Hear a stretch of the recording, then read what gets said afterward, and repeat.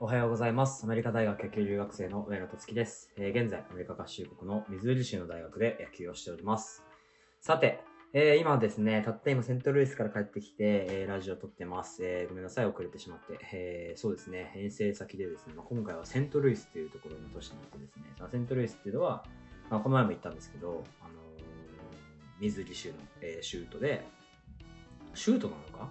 州都はカンザスシティか？ちょっとわかんないんですけど、ごめんなさい。あまあ、すごくでっかい都市で、カンセントラルス、セントルイス・カージナルスがあるね、えー場所なんですけど、まあ、そこまで3時間かけてですね、バスでみんなで、えー泊まりがけで行ってきて、今帰ってきたといった感じです。えー結果から言うとですね、えー負けてしまいました。えー全敗ですね。いやー、ちょっとその話を今日はちょっとテーマとして、えーしたくて、で、まあそうですね、なんて言うんでしょうか、テーマは、えーアメリカ大学野球の底力というテーマでお話しさせていただければなというふうに思います。えーっとですね、いやあの、まあ、さっきも言ったように負けてしまったんですよ。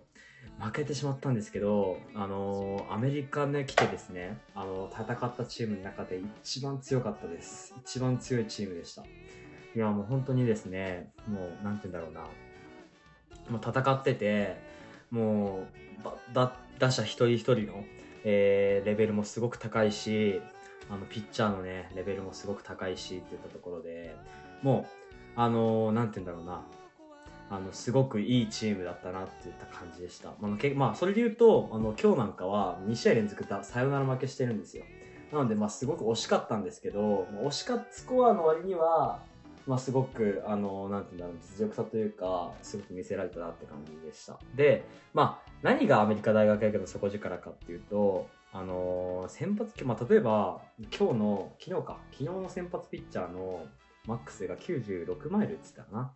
96マイルで、で、まあ、常時92、3マイル、まあ、大体150キロぐらいですね。150キロぐらいで、で、カットボ、スライダー、カットボールみたいなのをどんどんどんどんゾーン投げていって、まあ、それも140キロぐらいですね。140キロぐらいの変化球をどんどん投げてて、で、チェンジアップも投げててっていったところで、あのーまあ、結果的にその試合負けたのかな。まあ、そのピッチャーから2点取ったんですけど、負けてしまったんですけど、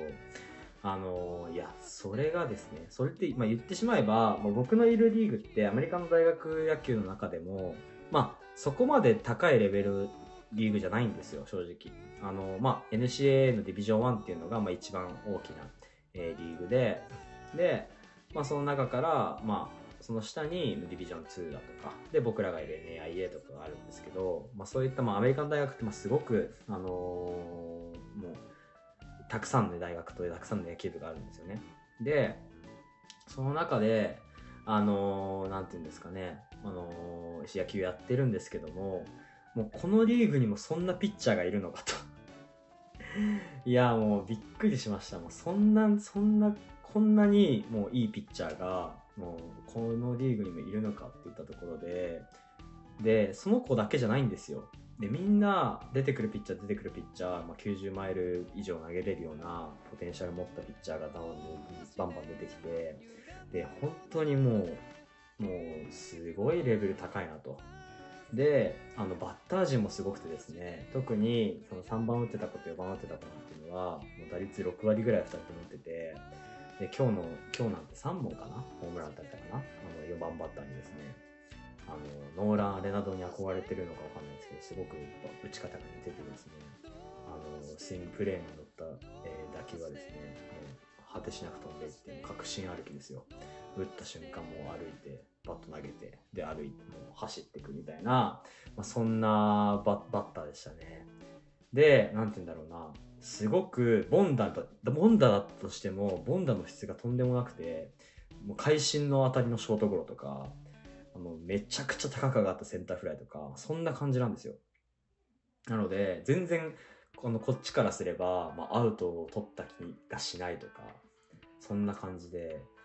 えー、ほんとすごかったなっていった印象でしたね。で、そのショ、で、3番打ってたショートの子は、190センチ以上あって、で、もう本当になんだろう、超大型ショートですよね。もう足も長くて、スラッとしてて、超、なんて言うんだろうな、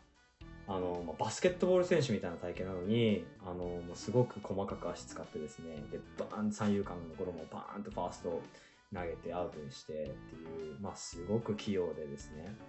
あの素晴らしい選手でした。なんて言うんだろうな、まあ、そういった選手層だとかを見ていると、いや、すごい、アメリカ大学野球ってこんなに、このチームでも、このリーグでもこんなにすごい選手がいるのかっていうところですごく感心してしまいました。まあ、彼らのレベルでいろいろあったらもうすごく、もう本当に、まあ、メジャーリーグも、メジャーリーグとはいかなくても独立リーグでも活躍できるようなレベルだったと思うので、本当に彼ら見ててすごいなっていうふうに、えー、思いました。はい。でですね、で、やっぱり、あの、まあ、その時期、まあ、すごく、あの、去年優勝してるんですよ、そのチームって実は。去年かな？一昨年かな？まあ、どこかのタイミングで、その、全米のその NAIA っていうところのリーグで優勝してて、まあ、すごく強いチームでいいチームなんですよ。で、監督さんも、あのー、ですね、まあ、すごく、なんて言うんだろうな、まあ、厳しい方というか、まあ、すごくストイックな方で、まあ、すごくいいチームを毎年作ってくるっていうところで、有名だったみたいなんですけど、やっぱり面白いのが、あの、アメリカでも、やっぱりいいチーム悪いチームってやっぱあるんですよ。日本でも、なんて言うんだろうな、それぞれのチームカラーってあるじゃないですか。で、あのですね、あの本当に、例えば日本だと分かりやすいのも足を使うチームだとか、まあ、このチームはバッティングだよねとか、えー、総合力だよね、投手力いいよね、左ピッチャーいいよねみたいな、毎年左ピッチャーいいよねみたいな、なんかそういったチームのカラーがあるじゃないですか。アメリカも同じで、あのその監督とかコーチによっても本当にチームカラーっていうのが出るんですよね。なので、まあ、このチームはさっき言ったあの野手で言うともう3番、4番を筆頭にしっかりとスイングをしていく。1番バッターの子もライトに2日間で3本ホームラン打たれてるあの打たれすぎなんですけど、普通に。普通に打たれすぎなんですけど、あのもう本当にね、しっかりバット振って、今日もサヨナラホームラン打たれちゃったんですけど、もうしっかりバットを振っていく。で、みんな、あのちゃんとバッティング練習とかでも低く強い打球をね、バンバンバンバン飛ばして、で、しっかりと芯で捉えるっていう、本当に強打のチームでした。で、かと思えば、あのー、合間合間にですね、2番とか7番とか8番とか打ってる子たちは、セーフティーバントしたりだとか、えー、バントとかしっかりとした小技も使えるし、で、あの、走塁意識もすごい高いので、まあ、僕キャッチやってて、まあ、少し、あのー、もうワンバン目の前に落としただけで、まあ、スタート一発って一歩切ってくるような、まあ、そんなチームで、もう、そうですね、それで言うと、まあ、走塁意識も高くて、で、まあ、バントとかそういう細かいこともできて、まあ、エンドランもかけてきたりして、で、主軸はしっかりとバット振ってくると。まあ、本当そういうチームで、あの、もうアメリカでも、まあ、なかなか見れないような、まあ、すごくいいチームと試合させていただいたなといった感じでした。まあ、うちの監督もね、あの、僕の大学って、まあ、去年、まあ、すごく負けてしまったんですよ。去年って、去年2年連続ぐらいかな。負けてて、で、結構チーム最盛期で、で、今年は、あの、いい選手も集まってね、コーチもリクルーティング頑張って、で、今年こそ上目指すぞって言ったところで、あのやってたので、それで言うと、あのー、まあ、コーチたちは、僕ら負けてしまったんですけど、まあ、すごく手応えを感じてて、あのー、なんて言うんだろうな、あの、去年まで、えー、なかなか勝てなかったチームが、こうやって、ナショナル、えーえー、チャンピオンシップに出てくるようなチームと、まあ、しっかりと張り合えたってところに、まあ、誇りを感じているっていう最後ミーティングで話してたんですけど、まあ、でも本当にそういうチームはもう本当すごくお手本になるし、まあ、アメリカでもやっぱりいいチームはすごくいいチームで何でもやってくるんだなといったことを改めて、えー、感じました。まあ、今日のテーマですね、アメリカ大学野球の底力といったところで、まあ、アメリカにもなんかすごく、アメリカはなんかすごく豪快で派手でっていったイメージあるんですけど、あのやっぱ強いチームは、まあ、しっかりと守備もきっちりあるし、バントとか小技とかエンドランとかもきっちりあるし、まあ、そこはあのマジで、あの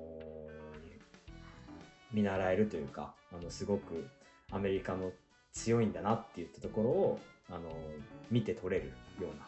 えー、チームあるんで、まあ、アメリカに来てですね、まあ、そういうところを、まあ、チームによってカラーが全然違うのでアメリカに留学したらですね、ぜひ、えー、そういったところもぜひ楽しんでみてくださいということで、今日はですね、アメリカ大学野球の底力というテーマでお話しさせていただきました。えー、素敵な、えー、週末をお過ごしください。上野とつきでした。最後までありがとうございます。それではまたね。